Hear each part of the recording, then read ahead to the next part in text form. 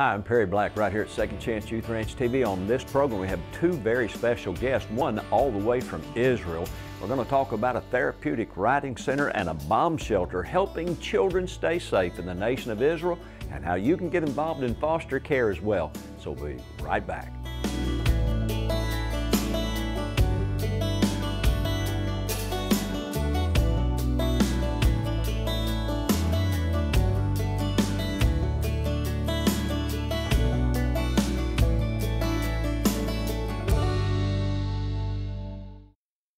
Hey, welcome to Second Chance Youth Ranch TV. I'm your host, Perry Black, and we have two very special guests on this show, and we're going to be talking about Israel.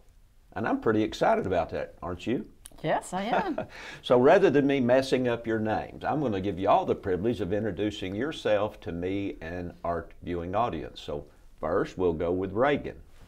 I'm Reagan Weil, um, originally from Corpus Christi, Texas. I reside now in Austin and uh, it's a pleasure to be here. Thank you for having now, us. Now, you do know in Texas there's only two Texas. That's Texas, and then there's Austin. Did you know about that? I, have heard that. I've heard that, and it's changed over yeah. my time. And your lovely guest is?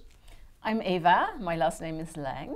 Ava Lang. Both German names, actually. So, are you from Corpus Christi? No, no, no. Unfortunately, no. I'm from Holland originally, from but Holland. I live in Israel, in Eilat, all the way down south. And where were you born? Where were you raised?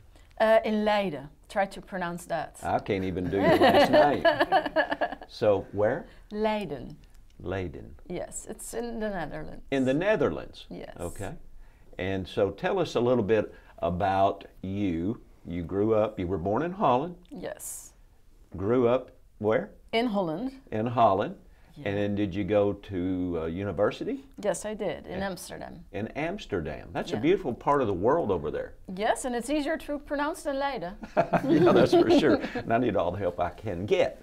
Now, I was in the Army in Germany, ah. and a lot of times, a lot of the guys in, in the military would take leave. They'd go up to Holland and into Amsterdam, that, yeah. that area. I never quite made it up there. I guess it was up there. Is that up there from Germany? Uh, depending on where you are. Germany is quite big. Yeah. Yeah. And uh, tell, tell me a little bit how you got involved in, uh, in Israel. Um, well, uh, I used to go on holiday there a lot. My parents used to take me almost every year, and we'll go. We would go all over the country. And um, when I was older, I was working as a freelance communication advisor. So I would have quite some time off between assignments. Yeah. And I would love to go to a nice warm country in winter. And so Israel's nice and warm during the winter? Uh, in the south, yes. It's, yeah. it's all desert, like Texas in a way. Yeah. And it's really warm, even in winter. Now, when you say holiday, remember we're talking to an American audience. Holiday to me would be like what we just had recently, which is Thanksgiving. That's one day. Yeah, but, but I was holiday to Europeans. That might be more than one day. I was freelancing, so yeah. I would go from company to company, and in between these assignments, it could be like I didn't work for a month or two months. Oh, so you would have a holiday, or what yeah. we would call a vacation. Yeah. yeah. Okay. Yes. Yeah, it was like a period without work, because I was looking for the next assignment. And so, how did you uh, eventually end up in Israel and? Since this show is really about fostering, mentoring, and adopting children mm-hmm. in care or special needs among children, how did you get involved in Israel? Why Israel? And a writing ministry, a, a program reaching out to children? Well, um, I always loved horses, and I moved to Israel. I made Aliyah, and I became an Israeli citizen. And, and when did you do that? Um, in 2017. Okay. Yeah, and then I was looking for work. And before that, actually, a friend of mine took me horseback riding in the center. Because as a tourist, you can go there and you can like rent a horse, you get a riding lesson. And we did that. And I asked the person in charge, his name is Rafi, he's one of our founders, to um, if he had any jobs available. And he said, no, we're just looking for volunteers. So I said, that's too bad. And then later, like I don't know, maybe a year or a year and a half later, one of my friends said, Do you know that there's a job available at the Therapeutic Riding Center in Kibbutz Grofit? I said, No, I didn't. And his wife was working together with Rafi's wife. And that's how, in the end, I got the job. I did two interviews and um, it landed me the job. At the Therapeutic Riding Center. Yes, Now, how long has that been around? Uh, it started in 1997, so quite a while. About 25 years. Yes. Is that right? Did I do my math? yeah, Almost 25. almost. Yeah. And what is the what is the mission or the purpose of the Therapeutic Riding Center? Well, it was started, it was founded actually because we're situated in the south of Israel and it's very secluded. There's nothing around there. There's one big city, which is called Eilat, which has around 60,000 inhabitants. Mm-hmm. But back then, there were far less, maybe it was, I don't know, 25,000, maybe 30,000, and there were no facilities for children with special needs. Yeah. So if there would be a family who got a newborn with special needs like autism or mm. CP or learning disabilities, they had to relocate to the center, to Tel Aviv, Jerusalem, or to the north, to So Haifa. did they did they live at the center? Uh, no, no. Most of them live either in Eilat or in one of the kibbutzim around Grofit. Now, when you say a kibbutzi, Kibbutz. kibbutz, yes. tell our audience what is that? Um, it's like uh, a bunch of people living together and sharing everything. Um, they got started that was very like socialistic, and they would share breakfast, they would share dinner, they would all uh, work in the kibbutz, and it's like an independent village. So you share your income, Grow their own food. grow their own Yeah. food, maybe export. Like one of the kibbutzim is called Yotvata. They're very famous for their milk. So they have yogurt, milk, and they export it, and that's what they live on. The kibbutz I'm working with, um, they have dates. So they have a lot of palm trees with dates, and they have a plastic factory. Hmm, very cool. Yes. Now, how many children attend the riding center? Uh, normal days, it's over 200 a week. 200 a week. Yes, so that's quite and a what did they do there? Obviously, they ride horses. Yes, they get uh, therapy uh, depending on what they need, but they also do little chores around the farm. So they help with the horses, they help with getting everything tidy. Um, maybe they plant something, whatever gives them a good feeling and get something done. And you find working with the animals, some of the children, especially those with autism, that's very Mm-hmm. therapeutic and helps them in some, some yeah, ways. yes, because if you work with horses, it's far more easy to communicate. Yeah. With a person, you need to speak. Yeah. And some of our children, they're not able to speak. Yeah. But with a horse, you can do everything with directing your feelings towards the horse and just doing it with your hands or your feet. Yeah. So it's easier to communicate. Well, my daughter raised horses, so I did too, so I know a little bit about horses. Now, some people are mm. probably watching, wondering about Reagan. Who is he and what's he doing here? So we're going to take a brief break, come back and find out a little bit about Reagan. So we'll be right back.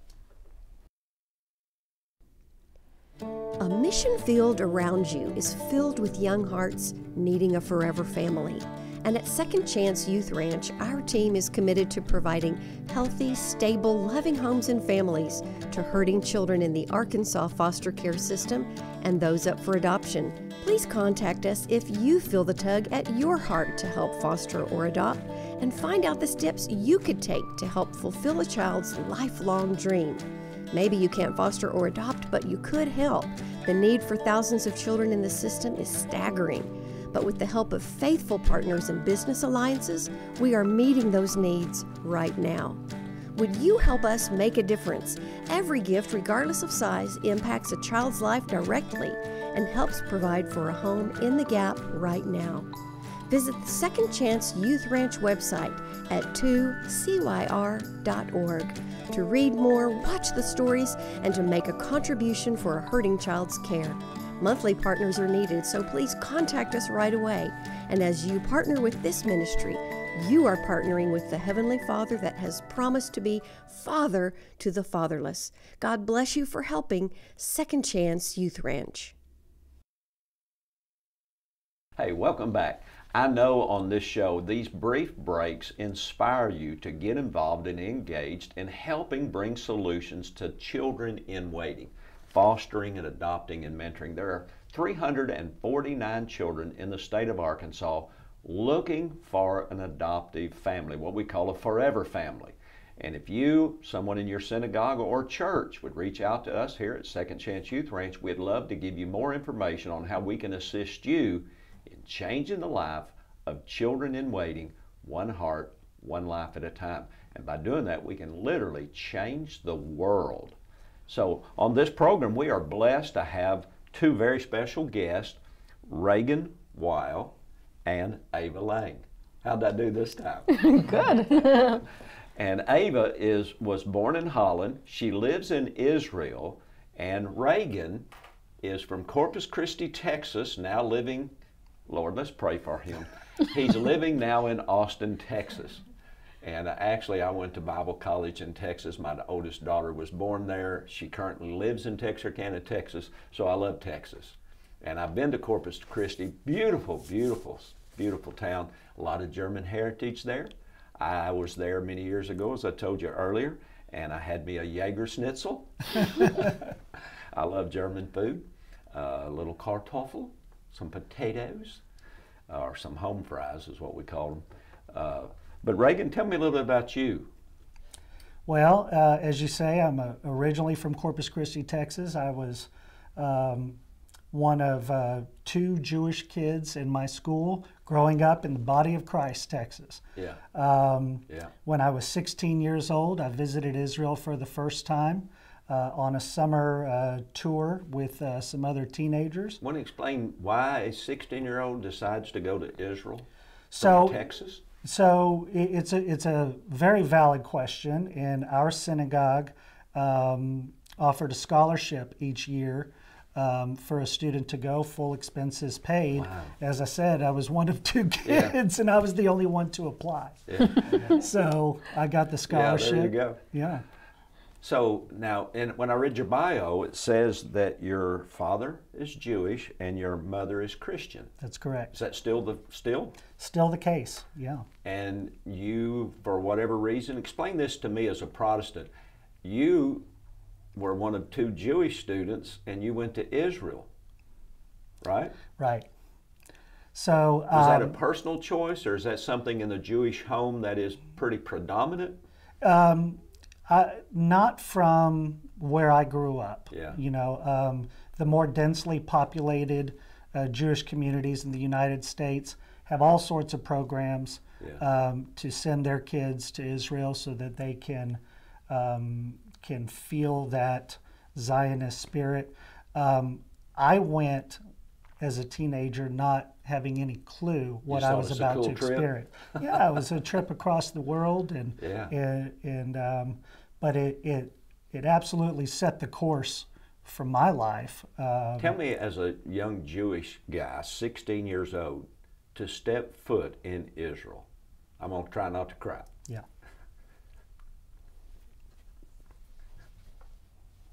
How did it impact you? I'll try not to cry as well. Um, I did not know what to expect. Um, when I got on the airplane, um, was the first time I met the other Jewish kids Yeah. that I was going to be traveling with. And you I- felt like I'm not the only one. I had exactly. I had never been around 35 other Jewish Wow. kids before. Yeah. And when we touched down at Ben Gurion Airport, the entire plane erupted in applause wow. because we were home. And when we stepped out on the tarmac, I, I felt compelled, as did some of my my new friends. We literally bent down and, and kissed the tarmac, and um, it, it's a true feeling of coming home. Yeah. Did you? What was that feeling on the inside? Can you expound? Can you explain that? As a young Jewish guy to step on, what would you call that? The homeland? What What do you call Israel?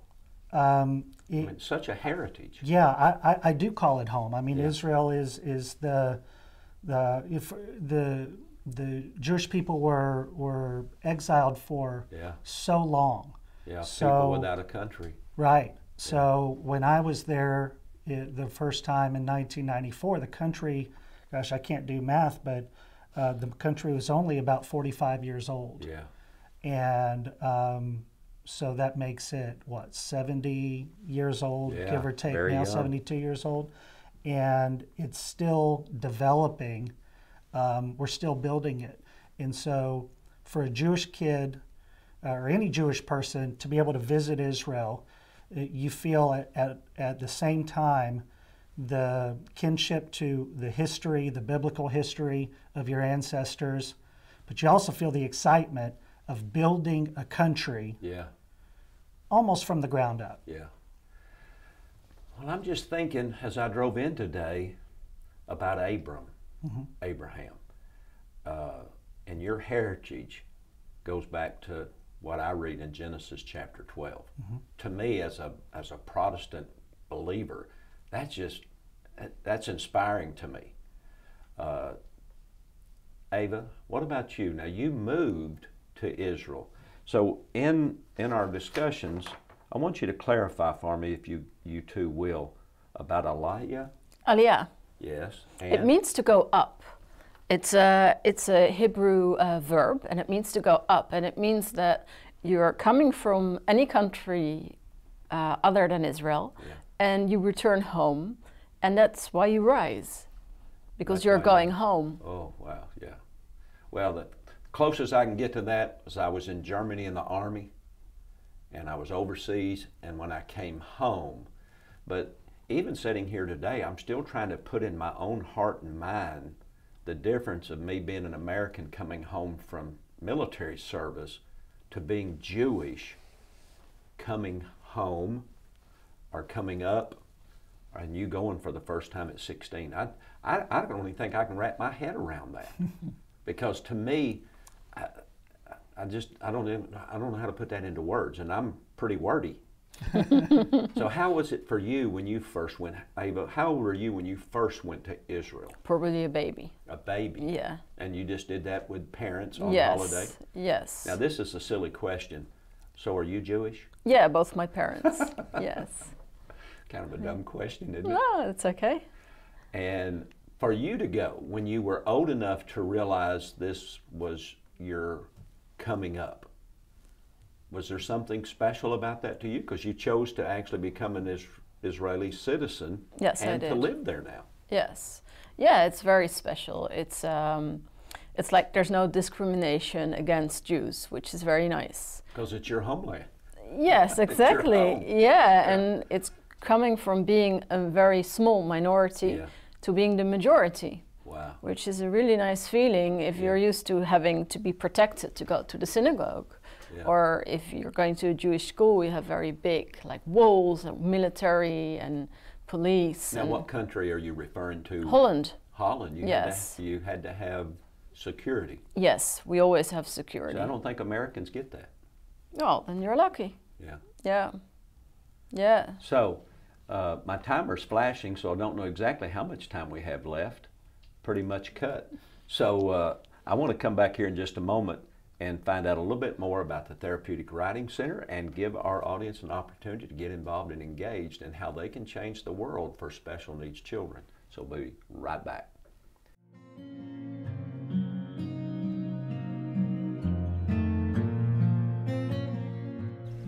קוראים לי חיית, אני אימא של אור יוסף, הוא בן 15 כיום. אה, הגיע לכאן אה, בתחילת דרכו ילד סגור, אה, לא מתקשר כל כך. דרך ההחלטה לבוא לפה ולהתחיל לרכב, גילינו מאיפה זה נובע לנו. גילינו שבכיתה ז' בבית ספר הישן הוא עבר חרם, לא פשוט. ולאט לאט, מפגש אחרי מפגש, הוא והסוס הראשון שהיה לו, שזו אותה סימבה מדהימה, יצרה איזושהי התפתחות אה, עדינה וקטנה, אה, והרצון שלו להמשיך עם התחום. הוא ביקש לעבור לסוס אחר, הוא רצה לאתגר את עצמו לפאפ, אם אני לא טועה, ושם נוצר אה, קשר אחר לחלוטין, שהילד התחיל להיפתח. כשאני אומרת להיפתח, זה לבוא לפה מרצון, להקדים בחצי שעה קודם, אה, וגם להיפתח בשטח. כאילו חוזרים הביתה ויוצאים אה, ופוגשים אנשים, זה כן אה, לספר מה הוא עושה, שזה לא היה. אה, ובזכות כל התהליך ההדרגתי הזה, עברנו בית ספר, בזכותו, מהבקשה שלו לעבור לבית ספר חדש, שיודע להכיל אותו, וזה רק העצים אותו, כי הם באו לכאן כקבוצה לרכיבה, ו... והייתה בקשה ממנו להעלות את הרכיבה לשלוש פעמים בשבוע, שנראה לי הזוי, אבל אני לא אומרת לא. אני רואה אצלו שינוי משמעותי בתקשורת, ברצון לשתף, לא לפחד להגיד קשה לי. כל התקפי הזעם שהיו לנו נעלמו, ואיך אומרים, הסוסים האלה זה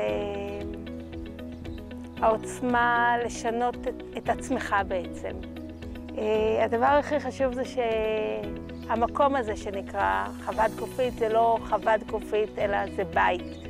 בית בשם חוות גופית מבחינתנו לא מחליפים אותו, וזה פשוט החוויה לבוא לפה, לראות את החיוך על הפנים, את הנצנוצים בעיניים והרצון להמשיך, להמשיך, וזה הביא אותו למצב שהוא מתעמל גם בפרטים, מאמן כושר ועושה תשתיות האלה, זה בית, ובית צריך לעזור לו לצמוח ולהראות לעולם שיש דבר אחד כזה בעולם, ואותו נשמור, ואנחנו כאן בשבילו. קודם כל תודה לכל מי שתרם ותורם לנו, ואנחנו נשמח שימשיכו לתמוך בנו ולתרום לנו כדי שנוכל לשמור על הבית הזה חי וקיים, ושכל הילדים שצריכים אותנו יוכלו לבוא ולהשתפר ולהיות אחר כך המדריכים הבאים במקום הזה. אהבתי לרכב, ועזרו לי להמשיך עם זה. זה היה עושה לי טוב גם כשהיה קשה, וגם כשלא היה בא לי הייתי תמיד בנתינה, אהבה לסוסים, בלתפור עם חברים קשר ולדבר. נשמח שתמשיכו לתרום ושהמקום הזה יתקיים.